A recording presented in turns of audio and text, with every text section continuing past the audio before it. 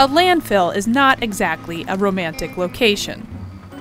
But behind the mounds of garbage in Santa Cruz, California, a stagnant pond has the ambiance this amphibian needs to get in the mood. At night, if you listen very carefully, you can hear the mating call of the California red legged frog. The call is very quiet, which makes it difficult. It has usually a, a few pulses, a kind of a jork, jork, jork. It's a sound that's increasingly rare as red legged frog populations dwindle. They're facing pressure from predators and from farmers who need the water in these breeding grounds to irrigate their crops. But now, scientists are using cutting edge AI technology to track the threatened red legged frog and balance California's strict conservation laws with the needs of the region's $1 billion farming industry. So we're improving conservation by improving monitoring. We're going to put out six or seven sensors for five months. We're going to have tens of thousands of minute-long recordings. Most of that won't have any frogs in it. This is Jeff Schluter. He works for Conservation Metrics, a Santa Cruz company that uses machine learning to streamline the normally cumbersome process of tracking at-risk wildlife. If you were going to just kind of like manually scroll through spectrograms, um, it's really hard to identify the calls. So using a machine learning algorithm, you can process huge data sets in hours or days as opposed to weeks or months. But to know where to deploy the sensors, which are equipped with sensitive microphones, you have to find the frogs first and record a sample mating call. Oh, look, that guy's coming out. Gary Kittleson is the expert who can find them.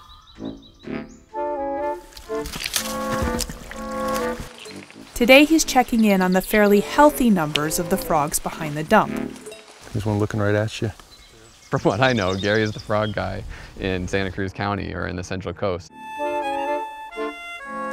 They're a fairly large frog, three to five inches. They're called red-legged frogs, but they don't often have red legs, and if they do, the legs are usually red underneath.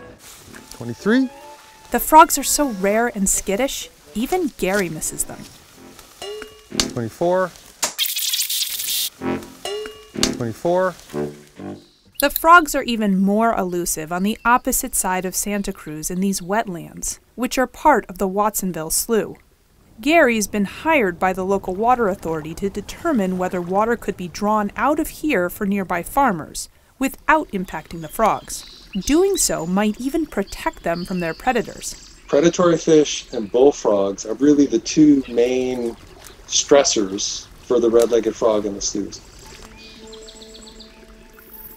By draining the sloughs, you decrease the habitat for bullfrogs and you will decrease the area for predatory fish.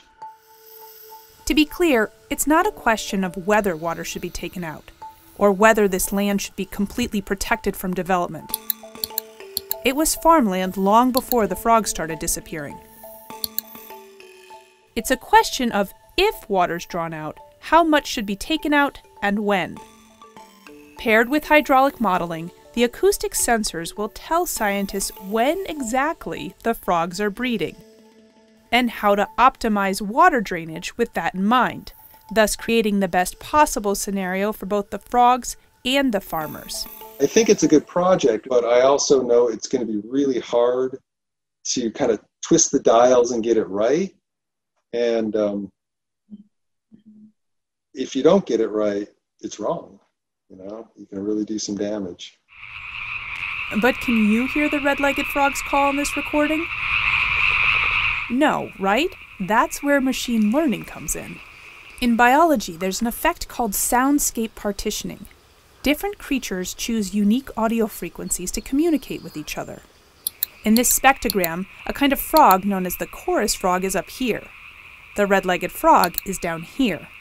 That allows us to see the red legged frog calls and the machine learning model to detect them, even if there's a lot of masking noise from chorus frogs. Conservation Metrics algorithm has been trained on hundreds of hours of recording, and it's learned to pinpoint the sound of the red legged frog.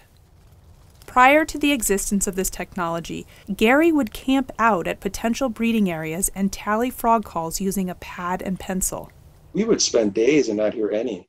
And then one night, one of us would be in one spot where you'd hear like 20 or 30 frogs because the weather was right, the you know, the ambient temperature, the relative humidity, who knows what it was. But that's what really kind of intrigued me. Like I kept thinking about how much I kept missing. Deploy one there. The algorithm doesn't replace Gary. In fact, it requires his expertise. Oh, we should stick one like out so you get more of like the larger expanse. After six months of collecting data, the team found only about 20 frogs in the 200 acres they surveyed around the Watsonville Slough. It's a very fragile population. By comparison, there are 50 to 60 frogs in two acres around the landfill, where there are fewer predators. But with the tools conservation metrics deployed, the water diversion project could help grow their numbers. This same technology is being used to track at risk wildlife around the world the northern spotted owl, African forest elephants, and mountain lions, among many others. It's a hopeful reminder that if humans are to strike a better balance with other species, maybe all we have to do is listen.